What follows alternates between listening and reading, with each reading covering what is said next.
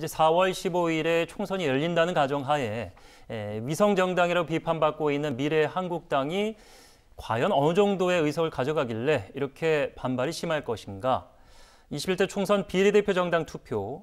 그러니까 이것을 잘 보셔야 되는 게 미래통합당은 여기서 당에서 지금 빠져 있는 겁니다. 그렇죠. 왜냐하면 미래통합당은 비례대표를 내지 않겠다고 했기 때문에 비례대표는 이제 미래한국당으로만 다 나가기 때문에 미래한국당만 올라와 있는데 민주당이 그래도 35.3으로 근소하게 높아 있습니다만 이게 이제 저희가 이제 과거에도 계산을 많이 해봤습니다만 연동형 30석의 캡을 씌고 나면 사실상 비례대표로 가져가는 의석은 거의 없다 이렇게 예상을 하고 있는 상황입니다. 정의당이 9.8 예상대로 한 10% 남짓이 되지 않겠느냐. 국민의당이 조금 올랐네요. 처음에 다시 국민의당으로 이름을 올리고 창당했을 때보다는 좀 올랐습니다. 민생당이 3.9.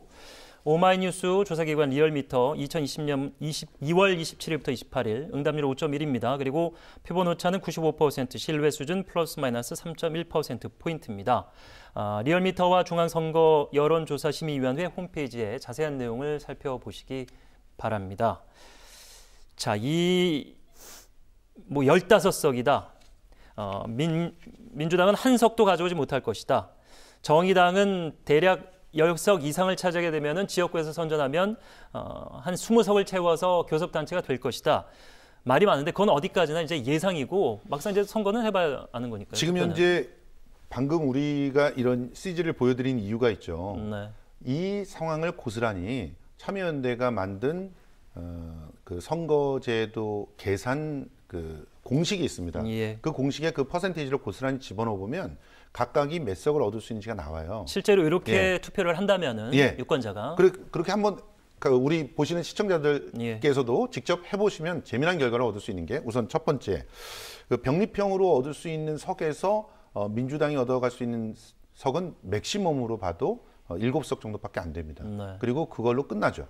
그러니까 35% 정도로는 40%가 된다고 해도 실제로 음, 그들이 30석 캡으로 씌워져 있는 그 30석의 연동형 비례대표제 안에서는 석을 하나도 가져갈 수가 없어요. 그렇습니다. 전체에서 지역구에서 얻은 석과 병립형으로 얻은 석을 더한 다음에 전체 그 석수에서 몇 퍼센트를 차지하는지 봐요. 그래서 40% 이상을 차지했다고 생각하면 30석 안에서는 아무것도 그, 어, 나눠주질 못하거든요. 그럼 나머지 30석을 가지고 그 이하로 얻은 사람들끼리 나누는 겁니다. 예. 그래서 미래한국당 같은 경우는 지역구에서 한 석도 못 얻었잖아요. 한 석도 못 얻었으니 어떤 형태로든 30%를 만들어 줘야 되는 게 연동형 비례대표제의 성격이에요. 그러면 30석이라고 하는 곳에서 최소 30석을 보장을 받는 거죠.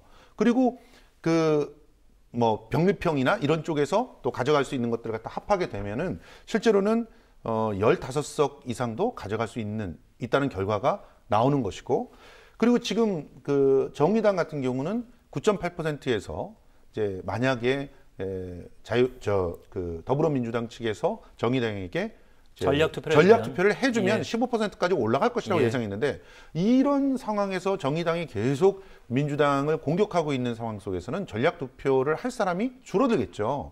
그러면 결과적으로 어, 미래한국당에게 대다수의 그 캡을 씌워진 연동형 비례대표제의 석수를 빼앗기게 되는 말씀, 그런 상황이 됩니다. 예, 말씀하신 대로 지금 이제 정의당이 비판의 목소리를 높이는 이유는 다들 알고 계신 대로 민주당마저도 이제 위성 정당을 만들게 되면은 정의당은 사실상 꿈꾸던 그런 의석수를 가져가지 못하게 되기 때문에 맞습니다. 예. 지금 그러니까 정의당에게 민주당 지지자들이 전부 다 몰표를 찍어 주, 주더라도 예. 어 그래도 뭐 그 그, 그야말로 이전에 그 데이터들을 갖다 확보를 해- 해보면 예. 최대치가 한 19% 돼요. 예. 20%가 된다 그래도 어, 연동형에서 미래한국당이 있는 한 20% 정도 갖고는 미래한국당으로부터 많이 뺏어올 게 없어요. 왜냐하면 예. 미래한국당이 지역구 후보를 하나도 안 내기 때문입니다.